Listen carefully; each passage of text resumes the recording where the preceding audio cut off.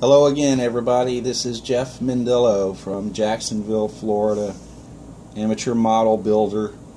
I'm showing you now the first model that I had built after taking a three-year, four-year hiatus. Um, this is a B-17 bomber uh, out of World War II. The name of this bomber is the Chowhound. Um, I think most people are familiar with the B-17. There were many different variants. Um, this particular model is a B-17G, which was one of the, the better designed with many improvements.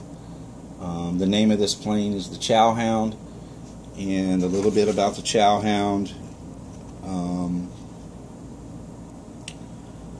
it began service in December of 1943 in the United Kingdom. Uh, the crew flew 15 missions before they were hit by uh, any kind of anti-aircraft or fighter machine gun. On their 15th mission, the uh, fuselage took a hit from a uh, German fighter, and it it hit right in the chest of the dog, uh, the Chowhound, which is their mascot. Um, on a sadder note, on uh, August 8th, 1944 the Chowhound was hit by enemy aircraft fire over uh, Lonlay-l'Abbaye, France, and the crew was lost.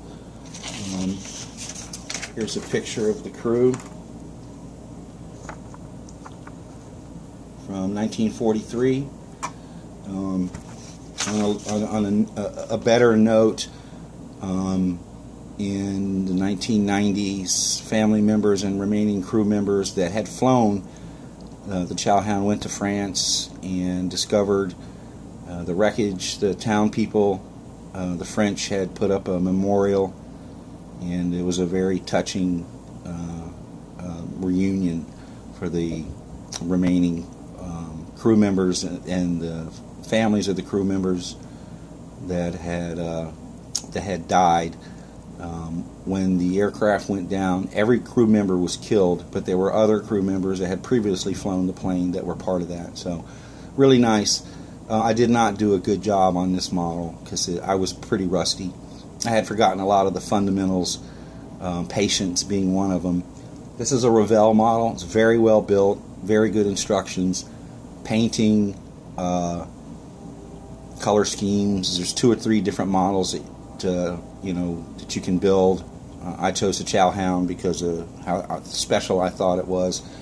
Um, some of the mistakes I made, uh, the front um, machine guns go up and down, but they don't move. They're supposed to move. So are these machine guns. After I had put the fuselage together, I realized that I should have put this little bubble canopy in, and so that's just kind of sticking on the top. Uh, the top turret doesn't move. The propellers do move. Um, the paint uh, scheme is pretty good, but a lot of I made a lot of mistakes. So, but still, it was a joy to build, especially with the history of the Chowhound. Um, you know, here's a couple of shots. The Chowhound had a white um, bottom turret uh, um, cowling, which was unusual.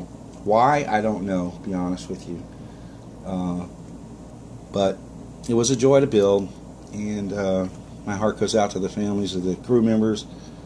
Some 70, 80 years ago, uh, gave their lives for our country and for the freedom of uh, Europe.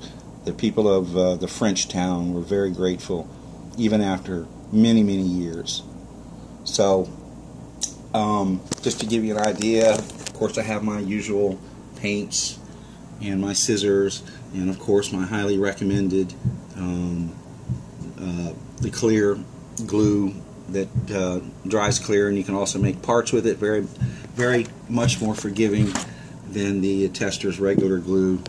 Um, X-Acto knives, pliers, toothpicks, a light, and uh, sanding sticks. Very useful.